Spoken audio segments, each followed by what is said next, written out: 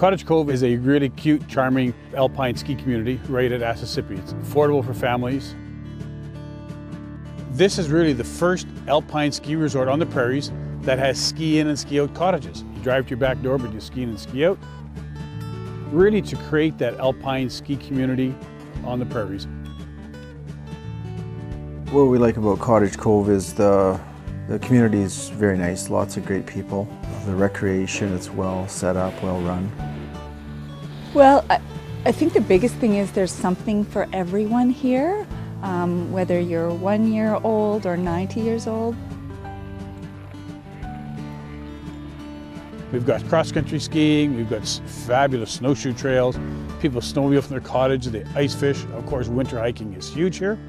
The Trans-Canada Trail goes through our property. Of course, we skiing and the boarding. We have the fabulous downhill tubing.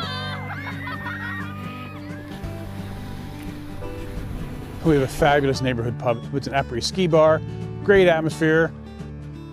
We have a skating pond that's open 24 hours a day. We have families that are skating 11 o'clock at night, midnight.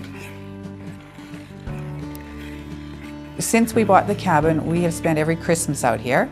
The kids are in the ski club now, so we're here every weekend. So an all-round vacation place that we can make use of it in the winter and in the summer. We had a boat, so fishing was kind of nice, and we thought it would be real, you know, good all around.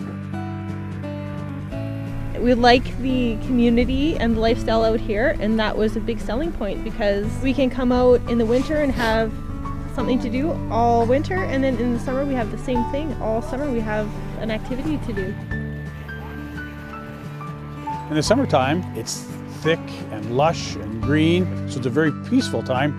Hiking is huge here. We do river rafting on the river right from the village, but a lot of people here just enjoy the peace and tranquility. Summer here is a delight with great weather, kayaking, getting tubing, family time with activity. We're great outdoors people. And come and enjoy the fun of powder and snow. If you're a sports enthusiast, that's awesome, but you don't have to be. It could be sitting and relaxing on your deck with a nice book. You have the action on the slopes and coming back to your home and settling in and just having an opportunity to relax.